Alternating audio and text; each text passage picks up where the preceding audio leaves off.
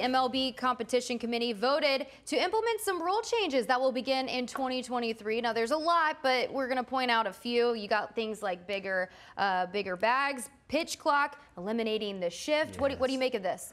Well, I can tell you, and I think we're in agreement. The, the shift, uh, eliminating the shift, is huge. I, I feel like that's great. I know some of the players don't like that they did that, but for me, I think this is going to get the offense back to where it was before, where you have more guys that can hit over 300. You have more guys that are uh, getting close to having 200 hits a season, and less strikeouts because they they with the shift. In my opinion, it's like they're trying to pull it to hit through the shift instead right. of just like being a regular hitter like they used to be. So I think that's going to be great for for baseball in the long run but only time will tell. I just think the shift takes away from the fun of the game and just being a defensive player and just really studying players and uh, just it takes away if, if you have a talented defender. I mean, he doesn't really need the shift, right? Because he should like he should be good enough just to be able to um, to be to work the defense. But the batting average, it's actually been down across the league. Lowest it's been since 1968. It's at 243. Um, a huge, you can blame the shift for that. So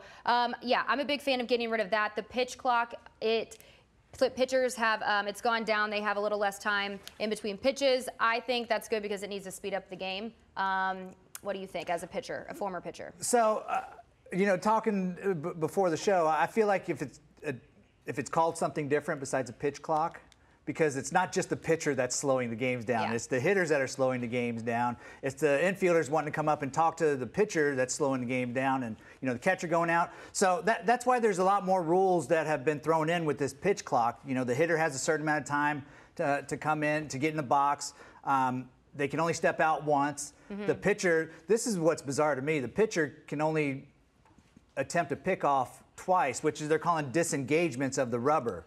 Oh, so okay. after you do it twice, the next the, the next pitch you better be stealing because there's no way that they can even attempt to pick you off. So that's kind of bizarre, but I see that it's going to uh, probably help the offense a little bit. I'm curious how um, veteran pitchers are going to, to react to this um, because I feel like a lot of the younger guys, because they've kind of implemented some of these changes in the minors um, already. So the younger guys, they might not have a big as hard of a time adjusting compared to some of the veteran guys who are used to having that time in between uh, in between pitches? Well, I think they're veterans for a reason because they know how to make adjustments uh, in this game, and, and, this is another adjustment that they're going to have to make.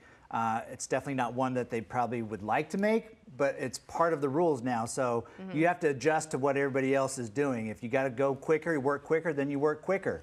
Uh, if you got to, if you're a hitter and you got to get in the box quicker, then get in the box quicker. I think it, everybody has to do it, so there's going to be adjustments that need to be made. And we talk about bigger bases here. Um, they were saying it limit, limits injuries, and we might see some more stolen bases. That leads to our poll here: which MLB change do you like the most? Uh, 47% are saying shifts. Yes. All right. you can scan the QR code to go to playtherally.com to participate. One thing I didn't like was the the walk-up songs, only 10 seconds. That's one of my favorite things.